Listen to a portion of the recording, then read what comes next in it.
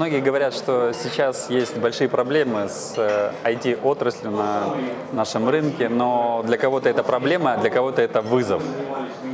Все то, как воспринимает эта компания. Я общался с многими компаниями, крупными компаниями, и для них это благо, потому что они с уходящих рынка иностранных компаний забирали себе лучших специалистов, и сегодня они могут гораздо активнее и качественнее продвигаться вперед, делать новые продукты быстрее и реализовывать их здесь у нас в России на, а, на практике.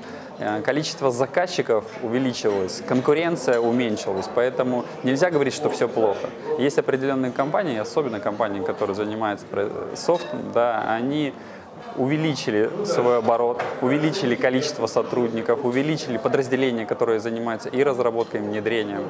Поэтому в этом плане можно сказать, что здесь идет рост. Есть проблемы с микроэлектроникой, но эти проблемы давно известны.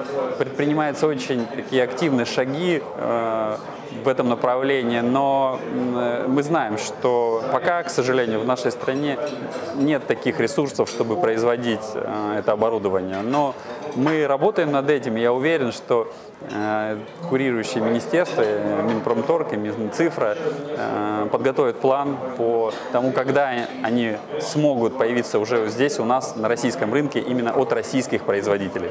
Минцифры разработали беспрецедентные меры поддержки IT-сектора, IT-специалистов, специалистов, это и налоговые льготы, и кредитные каникулы, и льготные кредиты, поэтому э, эти э, поддержки постоянно обновляются, и мы видим сегодня, что Минцифра очень активно работает в этом направлении, каждую там, э, неделю анонсирует какие-то новшества, в поддержку именно IT-отрасли. Поэтому уверен, что в этом плане тех а, мер поддержки, которые сегодня а, уже действуют, их достаточно для того, чтобы компании могли активно развиваться даже в столь сложное время. Вопрос о полном импортозамещении, наверное, он так и не стоит.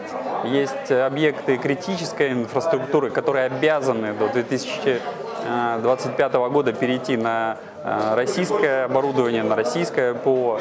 Но мы не говорим, что весь бизнес, который работает в Российской Федерации, перейдет на отечественных производителей. Но тем не менее, конечно, это очень такая важная цель.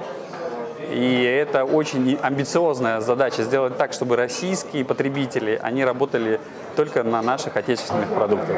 Поэтому я надеюсь, что в ближайшие 3-4 года мы увидим, как а, объекты критической инфраструктуры будут использовать Россий, российское оборудование и российское ПО, а дальше уже за ними последует и бизнес, потому что наши продукты будут качественнее, дешевле, да, и э, работать будут э, на всей территории нашей страны спокойно.